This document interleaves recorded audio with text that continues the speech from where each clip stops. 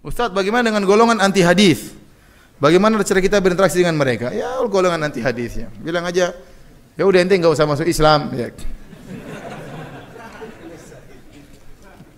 Mana dalam Al-Quran ucapkanlah asyhadu alla ilaha illallah asyhadu muhammadar rasulullah. Di mana dalam Al-Quran coba tanya?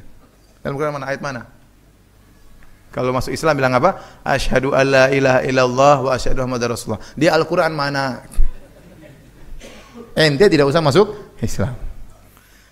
Terus ente kalau mau solat, solat di mana dalam Al-Quran?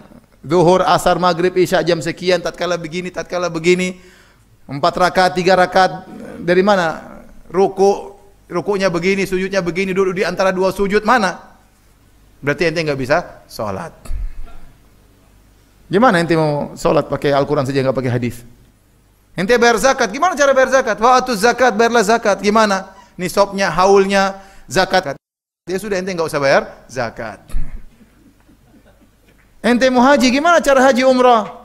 Allah cuma mengatakan, ya, sangat sederhana. Walillahi ala nasi hijjul bait. Man istata ilaihi sabila wajib bagi kalian untuk haji bagi yang mampu. Allah sebutkan Arafah Allah sebutkan Muzdalifah. Tapi bagaimana? Mana yang pertama mana yang duluan? Bagaimana lempar jamarat?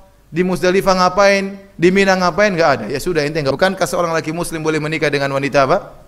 Nasrani atau Yahudi? Ya sudah dakwahi dia dakwahi dia sabar dakwahi dia ya.